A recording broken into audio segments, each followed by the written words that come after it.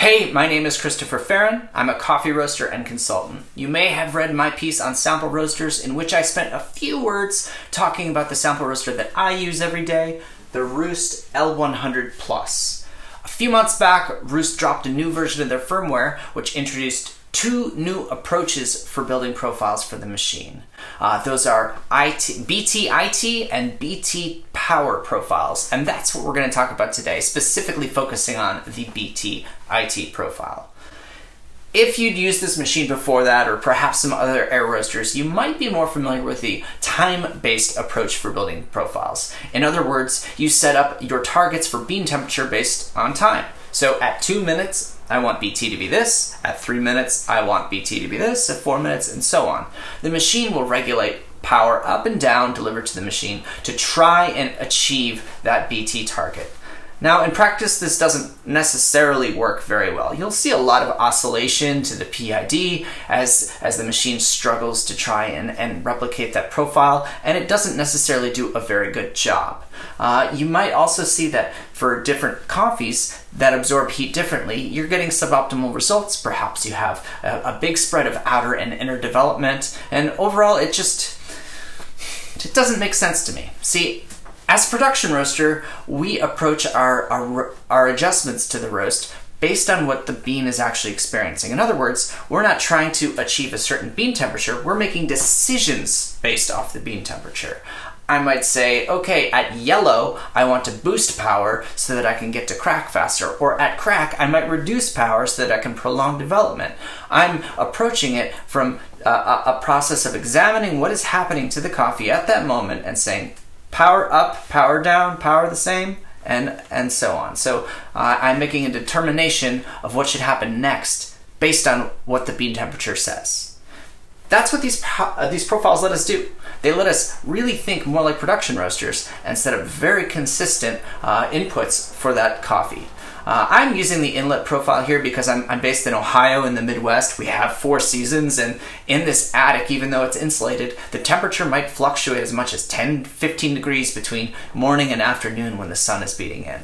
By controlling the inlet temperature of the roaster, I'm, I'm making sure that the coffee is experiencing a consistent environment no matter what is happening inside the ambient air temperature in this room. So you, you, you, can do the same thing with a power profile, uh, which is essentially a burner recipe. Uh, but for my purposes, because I have that wild variation, I'm going to be using inlet temperatures. And for I think for most people, that will be the most consistent approach.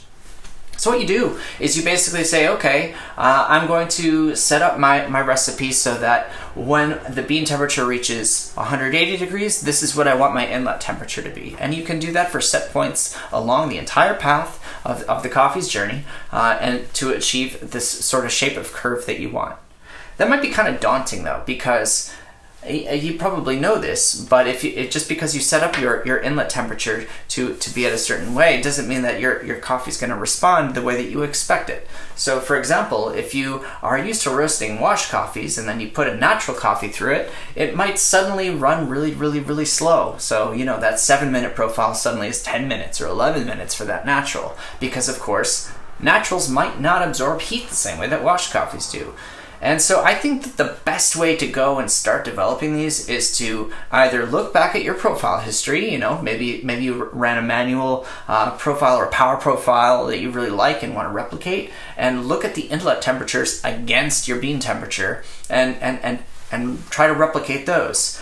You can also roast manually and save it as a BTIT profile and make your adjustments iteratively from there. That's a, those are both really great ways to go about it. But ultimately, at the end of the day, you are going to need multiple profiles for the coffees that you're roasting. I, I see coffees from all over the world, from uh, as low as 600 meters all the way up to 2300 meters, 2400 meters, everything from wash to anaerobic natural to, you know, 720 hour ferments. And so there, there are a wide range of processes and physical types of coffee that I'm, I'm roasting. And so I've basically developed four different profiles which adjust the amount of heat delivered in the first two minutes of the of the roast to help stage the energy for the rest of the roast. And I hope that you'll find that this this approach works pretty well for you too.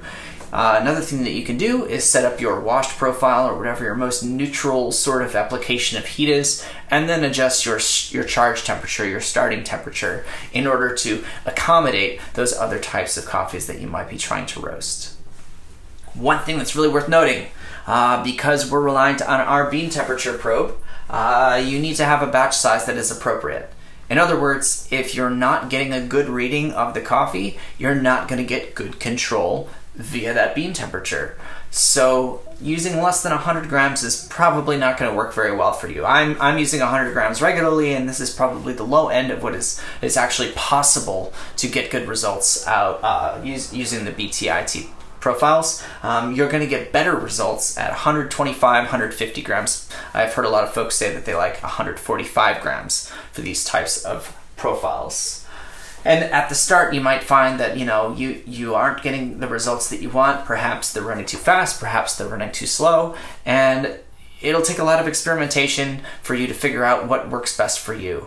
Uh, I, I will share one profile, uh, but it, it should be noted that it's it's set up for my specific machine. I use a, a manometer to determine the drum pressure inside my machine and I've adjusted my inlet fan lower so that I can reduce the amount of pressure in the drum and give me a little bit more headroom with it, the exhaust that I experience. Um, so you might you might find that you know it's it's not working well for you, and you'll have to you'll have to adjust from there.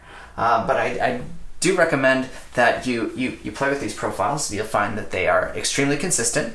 Uh, if you were roast the same coffee using the same profile, I would expect it to run within two and three seconds of itself every single time, uh, provided you have a, an adequate beat between batch protocol. And you'll find that the weight loss will be the same. So uh, it really is setting you up for much more success in, in evaluating your samples. If you wanted to change just one thing, for example, uh, development time, you could run everything up to the point of crack exactly the same using the same inlet temperature conditions. And then at crack you could decide you want to dip it down or mm, you know have a, have a less lower rate of rise uh, by adjusting your inlet temperature lower or perhaps the same inlet temperature but more development. You can do that and you will have exactly the same roast for the first 90% um, and really just look at that one variable, eh, which is a really powerful tool for not only uh, sample roasting but also for, for profile development uh, when you're when you're deciding to take that to production. Um, hope that was helpful. If you have any questions, let me know. And uh, yeah, happy roasting.